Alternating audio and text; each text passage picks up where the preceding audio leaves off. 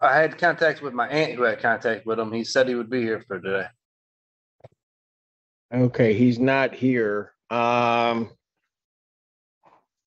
All right, well, let me wait a few more minutes. I'll call some other cases and then we'll see if he arrives, all right? Okay. Thank you. Court does call the case, People State of Michigan versus Raymond Honeycutt. Yes, sir. Good morning, Your Honor. Ali Zed on behalf of the people seeking permission to practice pursuant to Michigan Court Rule eight point one two zero under the supervision of Assistant Prosecuting Attorney Caitlin Kirby. Permission to practice is granted. Good morning, Your Thank Honor. Janet Ovesky, First Assistant Public Defender. On behalf of Mr. Honeycutt, who is present. Uh, I have And not had my, no contact with, my- with my attorney, sir. Yes, sir. Let me explain that. Um, Your Honor, um, I did contact, try to contact Mr. Honeycutt as instructed by M, um, by the, by MDOC. However, uh, when I called, I got a message that they were under emergency immobilization. I tried calling multiple times and could not get through. So I do apologize to Mr. Honeycutt and the court for that. But, um, we would So it need was to, something having to do with the facility, correct? yes, Yeah. that's my right. understanding. Okay, Your Honor- so you'd like an adjournment of this proceeding? Yes, Your Honor, and I did um request any video from uh, Ms. Kirby as well.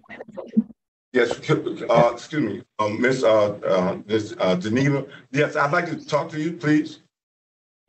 Let's speak to you. Ma'am, sir, sir, did you just hear what she said? No, yes, Did, did you just hear what she said? no, I didn't hear, uh, I didn't hear you. I, I didn't think so. You weren't listening. What she said was she tried to contact you in accord with MDOC procedures. There was Yes, something with the facility. Just Yeah. listen to me. Because otherwise I'm going to be done. I'm just going to give you a date. I'm going to try to explain it to you.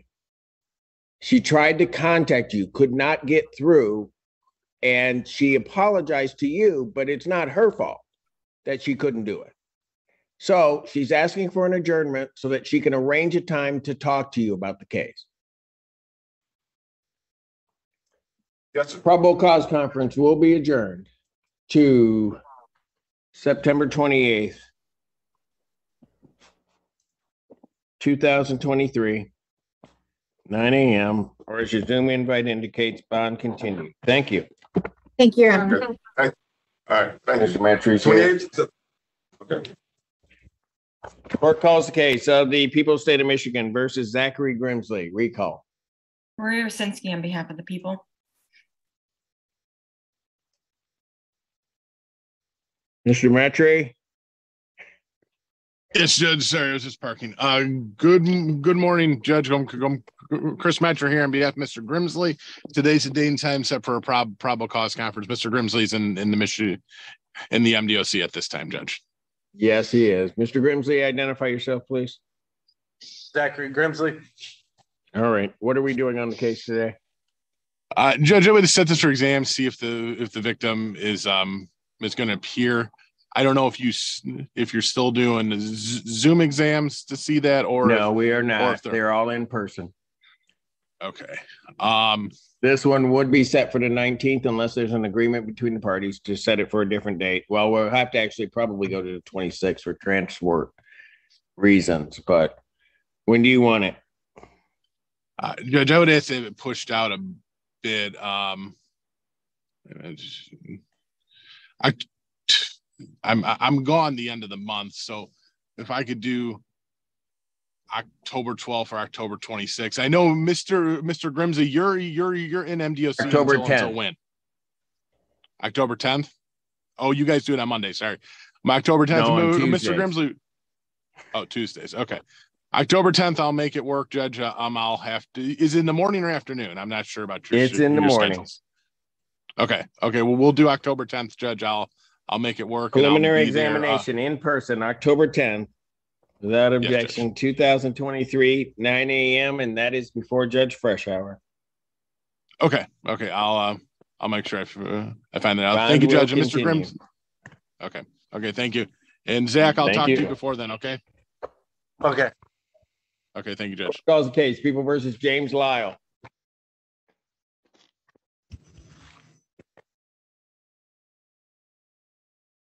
Good morning, Your Honor. Jonathan Emmons on behalf of the people. Ready, Judge. Torshell Feaster, Assistant Public Defender on behalf of Mr. Lyle. Mr. Lyle, please state your name for the record. James Lyle. Thank you, Thank sir. I I had some good conversation with Mr. Evans. Uh, we are work, well, we have almost reached a resolution uh, to a misdemeanor on this file. We're gonna have to get the plea form drafted and submitted to your office so we can enter that plea. If we can have a brief adjournment to get that done, uh, we'd appreciate it. Probable cause And I know- conference. I'm sorry. What's wrong, sir? I was, I was trying to ask, can I know what the plea was?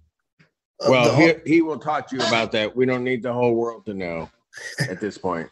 But let him, here's what I'll do. I'll adjourn it to September twenty-eighth, two thousand twenty-three, nine AM. And that way he'll get in, Mr. Lyle, he'll get in contact with you, explain everything to you, answer all of your questions before then, okay? Okay. If I could just ask, All right. um, Mr. Lyle, does he have a projected out date? Just so that I know. If there is, Uh, one. not, not at this point in time. This is, the reason that I'm here is because of this, this All is right. violation. okay, all Got right, it. thanks, thanks. All right, Just thank wanted you. to- Thank you, Judge. Court calls the case, People versus Erica Insoon Miller. Again, Your Honor, Jonathan Emmons on behalf of the people. Good morning, Your Honor. First Assistant Public Defender Queenie Anderson with and on behalf of Ms. Miller. Ms. Miller, will you state your name, please? Hi, Erica Miller. And I have before me a plea form. Is that what we're doing? I sure hope so, Your Honor. Yes, Your Honor. At the appropriate time, I'll be requesting uh, immediate sentencing. Okay, whatever. No, I'm okay. All right. The plea form indicates that the defendant will be pleading uh, guilty to an added count two of use of methamphetamine. I don't have the maximum penalties on here and need to have that. Whoever prepared this form, what are the maximum penalties on it? Yeah, that's my fault. My apologies. It'll be on the all the other ones. Um, it's a one year uh misdemeanor, so punishable by up to one year and uh and a thousand dollar fine. All right. Two thousand Will be dollars. pleading to the one-year use of methamphetamine. Upon her successful plea to that charge, count one would be dismissed and there is, I'm sure they talked about it, no objection to immediate sentencing. That's the court's full understanding of the agreement. Is that correct, counsel? That is correct, Your Honor. Yes, Your Honor. All right. Ms. Miller, can you raise your right hand, please? Do you solemnly swear or affirm testimony you're about to give will be the truth, the whole truth, and nothing but the truth so help you God? I do, Your Honor. State your name for the record, please. Erica Ensign Miller. All right, Ms. Miller, it is this court's understanding that you're going to plead guilty to the charge of use of methamphetamine. That is a misdemeanor punishable by up to one year incarceration or one thousand dollar fine plus court costs. Do you understand that? I do, sir. And understanding that, you still wish to plead guilty? Yes, sir. And to that charge, how do you plead? Guilty, Your Honor. Now, you understand that by pleading guilty, you'll not have a trial of any kind. Yes, Because of that, you're also giving up certain rights. You're giving up your right to call witnesses to speak for you at trial or to have this court compel their attendance. You're giving up your right to see, hear, and question all witnesses against you at trial. You're also giving up your right to be a witness for yourself or to remain silent, not have that silence used against you. And you're giving up your right to be presumed innocent until proven guilty beyond a reasonable doubt. You understand that, ma'am? yes, sir. You understand you're giving up your right to appeal upright. I do. Are you on probation or parole? Um, I am on probation. You're still on probation? All right. Just so that you understand, this entry of a plea in this case could be a violation of your probation. If it is considered a violation of your probation, you could be sentenced potentially to the maximum allowable under the other charge or charges. You understand that? Yes, sir. And understanding that, you still wish to enter this plea. I do. Has anybody promised you anything other than what's been stated here today on the record to get you to plead? No, they haven't. Has anybody threatened you or coerced you? No, they haven't. You're doing this voluntarily I am, sir. of your own free will Yes, and because you believe that you are indeed guilty of this offense? I am. April 17, 2019, at the location of twenty-two oh one Hogback Road, that being the Washtenaw County Jail. Tell this court what you did on that date that makes you think that you're guilty. Um, I was in possession of a baggie of uh, methamphetamine. I came to the court to try to clear up a warrant and had a, had illegal, uh, controlled substance in my pocket. Um, when I was searched, it was found. And, um, I was subsequently charged with that. Okay, have you, did you use it, ma'am? It, that was what I was using at the time, yes. Okay, had you used the methamphetamine? Yes, All right, and you knew what you were using was methamphetamine? that's correct. All right, counsel, have I complied with the court ruling? Would it be proper to accept this defendant's plea? People are satisfied. Yes, Your Honor, thank you. Thank you. Court will accept the defendant's plea of guilty to count two, count one is dismissed. And Miss Anderson, as to your request for immediate sentencing. Yes, Your Honor. Miss Miller has been in Clinton County Jail as well as Ingham County Jail since the arraignment in this case. Uh, she's been in so far a total of five hundred and eight days since the arraignment date. She's currently in custody on the Ingham County case where she uh, will be sentenced on October second with the expectation that she'll be sentenced uh, to a minimum of thirty-six months in MDOC. So given the time that she served and the time that she will serve, we're asking for credit for time served on this case. Ms. Miller, is there anything you want to tell the court before I impose sentence? Um, thank you for your time and consideration on this. I would just really like to close this matter and so I can, um, move forward. I appreciate it. Thank you. Sent to the court, s- state minimums of hundred and twenty-five dollars. And then I'll order three hundred and sixty-five days incarceration credit for three hundred and sixty-five served. Thank you. Thank you, Your Honor. Thank you, Your Honor. Have a nice day, sir. Thank you, ma'am. Thank you, Ms. Miller. Court calls case of the people versus Jonah Witt. I'm sorry. Uh-oh. Well, that they did something. Hold on, folks. Where I picked that up from. I just saw it. Never mind. Court does call the case of the people versus Rudy Vaquera. Vaquera. Maria Rosinski on behalf of the people.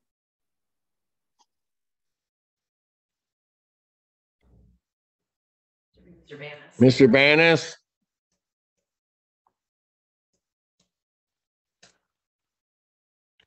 Banis, Not Mr. Bennett, but Attorney Feaster, Assistant Public Defender on behalf of the defendant. Uh, pl- oh, there he is. Please state your name for the record, sir. Rudy Vaquera. thank you, sir. Your Honor, I, I'm so sorry. I was talking to one of our investigators, Andrew Banis, on behalf of Mr. Well, thank you for joining us. Go ahead. What are we doing on this? It's my pleasure, sir. Um, but seriously, I do apologize. I did speak with Mr. Vaquera. He is waiving exam uh, for resolution up in circuit court. And if helpful to know, he reports to me that he expects to be released from custody, hopefully any day now on parole. And I do not believe this case would constitute any kind of parole violation. Sir, you've heard that your, your attorney has indicated? Yes. All right. You understand that if you waive your preliminary examination, that is a proceeding where the people would have to show by probable cause that the offense alleged was committed and that you committed it. Yes. You understand you'll not have that hearing and you'll proceed to circuit court for further resolution. Yes. People also waive their right. Yes, Your Honor. Preliminary examination having been waived, defendant is bound over on count one with two following. Mr. Banis. Your Honor, I acknowledge receipt of the information and Mr. Vaquera stands mute and waives for formal reading. Defendant having waived formal reading, standing mute, court will enter not guilty plea to both counts. Pretrial in this matter will be set for September twenty-sixth at 1:30 P M with Judge Kuhnke. September twenty-six, 2023, 1:30 for Judge Kuhnke. Bond will continue in this case. Thank you. Thank you, Your Honor. Thank you. Court Thank does you. call the case of the people versus Darnell Taylor. Ready, Judge. Uh, Mayor Sinsky on behalf of the people. Portia Feaster, Assistant Public Defender on behalf of Darnell Taylor. Mr. Taylor, please state your name for the record. Darnell Allen Taylor. Thank you, Judge. We're just asking for the uh, soonest possible preliminary examination date, please. Would everybody be ready to go on the twelfth? I can do the twelfth or nineteenth. Which day? Miss Uh, Kirby's shaking her head, not the, not, not the twelfth, it appears, Judge, so the nineteenth, I assume. You saw her shake her head? I wasn't paying attention. All right. Preliminary examination in person, September nineteenth, two thousand twenty-three, nine AM, and that will be before Judge Valvo. Thank you, Judge. All right, Thank you, Bond. Bond will continue. Thank you. Court calls case, People versus Hassan Al Sabar. Caitlin Kirby on behalf of the people. Good morning, Your Honor. Barry Resnick appearing on behalf of Mr. Alcibar. Good Al mor- Sabar, can you state your name, please? Good morning, Your Honor. My name is Hassan El Samar. iPhone one. All right. All right, what are we doing? Judge, um, I just, uh, in the process of getting some discovery, I need to review with, uh, Mr. Sabar. If we could have an adjournment of PCA, PCC, waive the fourteen day rule, I can assure the court that, that there's an extremely good likelihood on the next date that we'll be able to waive it over a circuit. Probable cause conference, September twenty-eighth. He's out. Your Honor, is it possible we could do it the following week as I have another hearing on that date? Um, the fifth, if we could do that, I'd appreciate it. What's, what's the day? Any objection from the people? No, Your Honor. October fifth, two thousand twenty-three. Nine AM, bond continued. Thank you. Thank you, Your Honor. Nice seeing you again. Good seeing you, sir. Thank Court does call the case, uh, cases of the people versus Nicole St. Germain. Ready again, Judge. Good morning, Your Honor. Nicole Hughes on behalf of the people. Portia Feaster, again, Assistant Public Defender on behalf of Ms. Nicole St. Germain. Please state your name for the record, ma'am. Nicole St. Germain. Thank you, Judge. Uh, at this time, there wasn't an, an offer on this file. Uh, based on that, Mr. St. Germain is asking that we have these matters set for preliminary examination, please. Preliminary examination in person will be set September nineteenth, two thousand twenty-three, nine AM, and that is before Judge Frushour. What? This is I'll let her know you said who. Um, that would be Judge Anna Frushour, man. I was supposed to be let out today. No, ma'am. No, ma'am. We, we're setting it for exam, uh, and then we'll try to resolve it at that point and try and get. What, what does that mean? That's what we discussed, where we're going to uh, set it so the witnesses have to come to court to testify, or we can resolve it with a plea. I thought if they didn't come today, that you could resolve it with a plea. No, ma'am. That's at exam. So wait, what's happening? Okay, I'll come see you again, and we'll talk about it again. Oh no, I'm just wondering because um you told me that if they didn't show up for court today, that it would be dismissed. No, ma'am. I said a preliminary examination. Cases are often dismissed if the witnesses do not appear. But we can talk about it. I'll That come see you. up here. All right, Nicole, come on. All Are you guys done? I'm sorry, Judge. Okay, no, it's okay. Yeah, 'cause I was to be done a while released today. ago. That's what we were But talking I was gonna let you go. Okay, I appreciate it, Judge. Ms. St. Germain, I'll come see you again. Your next court date is nine nineteen. Okay, well, what? I I just that's not really what we talked about. Thank All right, Thank you. Why did they laugh during mine? Court calls the case of the people versus James Williamson.